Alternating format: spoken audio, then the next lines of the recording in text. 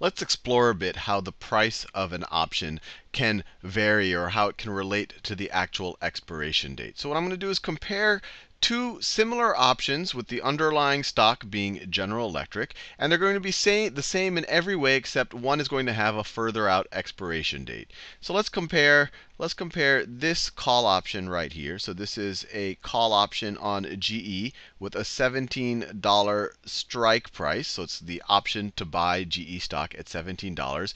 And it has an April 2011 expiration. So it's going to expire, or the last day of trading that you could trade this option will be the third Friday in April. Let's compare that with the, the same, the, uh, the, an option that has the same strike price but has a December 2011 expiration. So we're going to look for a $17 strike price right over here.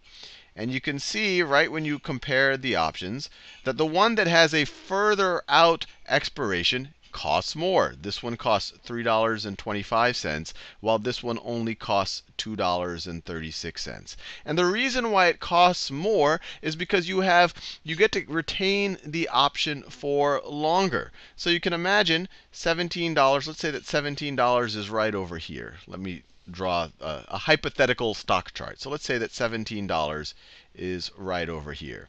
And so you can imagine, let's say that you, you have both of those options, or, or you have the option to have either one of those options. And let's say that the stock does something, let's say that the stock does something like that.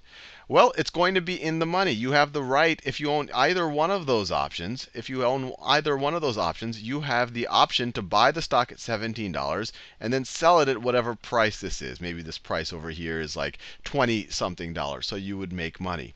But if you have the option with a closer with a closer expiration, with the April 2011 expiration, you have to exercise the option right now. You would have to exercise it right now and close out the option. If you had the long longer dated option, you could do it. You could do the exact same thing with the that this owner of an April 2011 option has, or you can hold the option and maybe see if the stock continues to go up. Or you can imagine a downside scenario someone who has maybe the stock does something like this, where it goes out of the money. Someone who holds the closer dated option, the one that that expires first, they'll be completely out of the money. The option would be worthless on this date. But if you have the op, if you have the the longer expiration, if your option does not expire until December of 2011, then you can hold it and maybe maybe the stock will do something nice. There's some probability that it will one day become in the money.